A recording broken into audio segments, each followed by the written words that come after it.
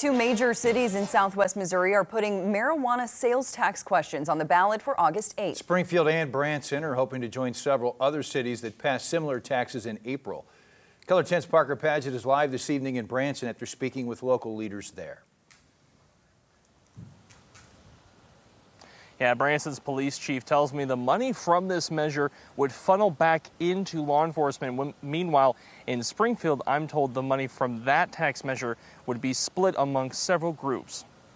Branson is hoping to turn recreational marijuana sales into more money for the city.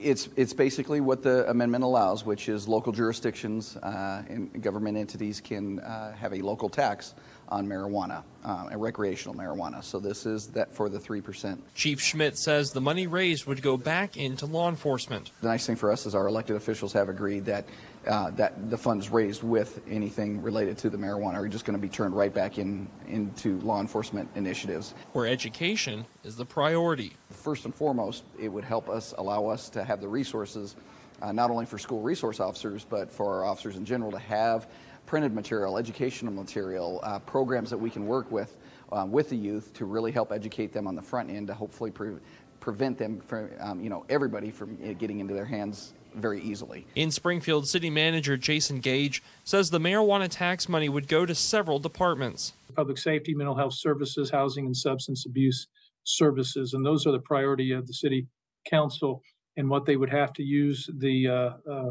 tax dollars for if the citizens approve it. He says the tax could bring in over a million dollars to the city. Now, it's really difficult to estimate that because there just isn't good data available right now. And until we, and unless this is passed and we can get some time under our belt, uh, it'll be difficult to project. But right now, we're we're assuming it'll be uh, around 1.8 million dollars per year.